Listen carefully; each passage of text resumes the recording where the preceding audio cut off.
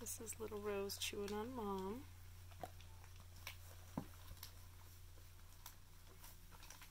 She's kind of always been the sweetest, snuggliest. Today she's just decided she's uh, feeling her oats and she's chewing on everything today. Everything being my pant leg and her mama's chest. Rose. Hey, pretty girl.